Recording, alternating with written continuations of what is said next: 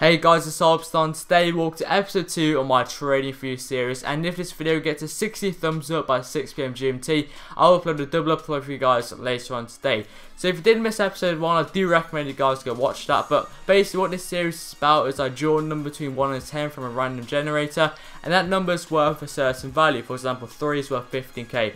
Then let's go and trade to that 15k and once I have traded to it, I then give it away to one of you guys. I just want to say thank you for the support on the first episode, it was absolutely amazing. And we've got over like 200 comments, which is just absolutely crazy for me. So here you guys see I actually drew the number and the number that came up was 2 and that basically means I have to trade to 10k in this episode so of course remember guys if you do want a chance to actually go and win the coin amount just all you have to do is just comment like comment anything like good video, hello. You know, I've had some pretty random comments coming in, but anything you want to comment, just comment and you're going to be in for a chance to win the actual coins.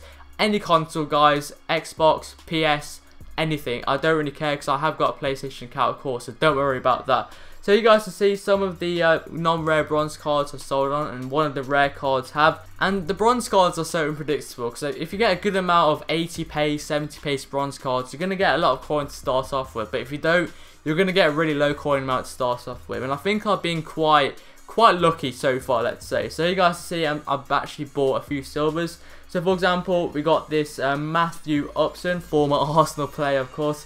I went and bought for 400 coins and I attempted to list them up for 900 coins. And as you guys can see, they all sold on and also a few more bronze rare cards sold on which is absolutely fantastic. Actually all of them sold on eventually which is fantastic. And uh, you can see 200 coins some sold on for, few for 150 and uh, here you guys see another one for 200 coins, a rare bronze card. Another one for 200 coins. Then Maidana sold on for 550 coins. And eventually Chris Wood sold for 500 coins and then Matthew Upson for 900 coins. So now we're moving on to gold rare, my gold rare converter method, which works so well. I've been using it today as well. It works really well and I do recommend if you are struggling to make coins to go and actually try that method.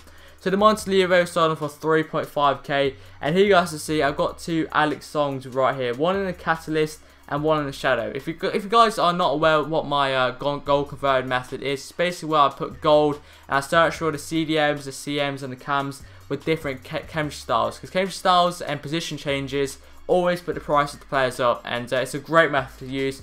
And I listed both the Songs up, and here you guys see one sold on for a nice cool 3.1k.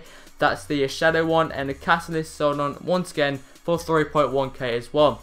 And here we have a converted Fernando Torres. That is very, very rare to find strikers who are converted to cam. So I knew straight away that that was a fantastic deal. And also we've got Christian Eriksen in a CM. He's normally a cam with a Hunter chem style on him, which I knew straight away, bang. Because there's not many Eriksens in the CM position, which is so it's a very rare deal to actually get. So Eriksen sold him for 4k.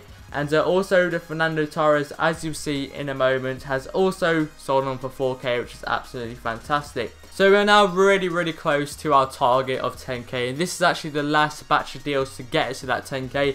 So we have Marek Hamšík, which we bought for 2.7k, and attempted to list up for 3.8k. And finally, we have a Shinji Kagawa, who I actually went and bought for 2.4k, and attempted to list them up for 3.1k. And as you can see, they all sold on. Shinji Kagawa sold them for a nice cool 3.1k, which I of course listed them up for.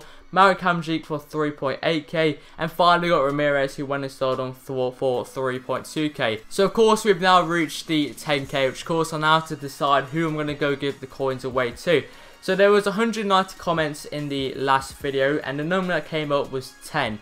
So the 10th comment has actually won the 10k coins. The next thing I do is I go and scroll down. Remember this is excluding any comments I personally made. So I scroll down and scroll down and the guy with the 10th comment is this guy right here, Minecraft Gaming. And so his comment was, I like your shoes, which is quite interesting. But you have now won the 10k, so please go and send me a private message with the card details, and I'll be happy to go and send the 10k over to you. So hopefully guys have enjoyed episode 2 on my Trading For You series. It'd be great if you can get behind this series. 100 thumbs up on this episode, that'd be great.